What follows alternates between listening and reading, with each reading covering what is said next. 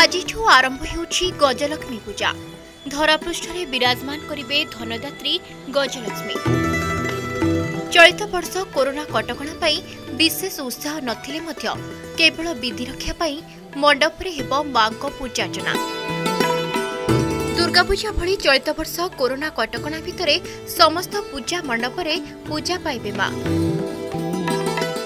ସରକାର Covid guideline ଯାହା ତିଆରି କରିଛନ୍ତି ଆମେ ତାକୁ ମାନିକି ଚଳୁଛୁ। ତାପରେ ଯାହା ଆମର ଭିତରେ ପୂଜା ହେବ ବାହାର ଲୋକ ବି ଏତେଟା ଦର୍ଶନ କରିବେ ନାହିଁ। ତାପରେ ସ୍କିନ୍ ଫିନ୍ ପୁରା ପଡ଼ିକିରି ପୂଜା ଆମର ହେବ। ପାଣି ଉଠା ହେବ ସେଇ ଚାରିଟା ପାଞ୍ଚଟା ବେଳେ ପାଣି ଉଠା ହେବ ଆଉ ସନ୍ଧ୍ୟାବେଳେ ପୂଜା ହେବ। ସନ୍ଧ୍ୟାବେଳେ ରାତିରେ ରାତିରେ ପୂଜା ହେବ କାଲି ସକାଳ ଯାଏଁ ପୂଜା ଚାଲିବ ଆଉ। କଟକଣା ଭିତରେ ଧରା ଅବତରଣ କରିବେ ଧନଦାତ୍ରୀ ମହାଲକ୍ଷ୍ମୀ। ଏଥିପାଇଁ ସବୁ ମଣ୍ଡପ ଖାଁ ଖାଁ ଓ ନିବୁଜ। ତେବେ ରୀତିନୀତି ଅନୁସାରେ ଧନଦାତ୍ରୀଙ୍କର ହେବ ପୂଜାର୍ଚ୍ଚନା। ଟ୍ୱିନ୍ ସିଟିର ବିଭିନ୍ନ ସ୍ଥାନରେ ପୂଜା ପାଇବେ ଧନଦାତ୍ରୀ। ମାଙ୍କ ଦର୍ଶନ ପାଇଁ ସାଧାରଣ ଲୋକଙ୍କୁ ବାରଣ ଥିବାରୁ ଶ୍ରଦ୍ଧାଳୁଙ୍କ ଦର୍ଶନ ଉପରେ ରୋକ ଲଗାଯାଇଛି। ଗତ ବର୍ଷ ବି ଏଇ କରୋନା ପାଇଁ ଆମେ କିଛି କରିପାରିନଥିଲୁ।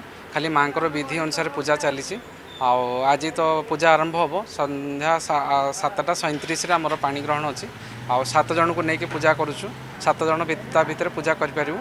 ଆଉ ସବୁ ପଟ ଆବଦ୍ଧ କରିକି ଗଭର୍ଣ୍ଣମେଣ୍ଟର ଯାହା ନିୟମ ଅଛି ସେଇ ନିୟମ ଅନୁସାରେ ଆମେ ସବୁ କରୁଛୁ। ଭକ୍ତଙ୍କ ପାଇଁ ସେମିତିକି ଲୋକଙ୍କୁ ଆମେ ତ ନର୍ମାଲି ଆମେ ମାସ୍କ ପିନ୍ଧନ୍ତୁ ସାନିଟାଇଜ୍ କରନ୍ତୁ ଏଇଠି ତ ଆମର ସବୁ ଜିନିଷ ରହିବ।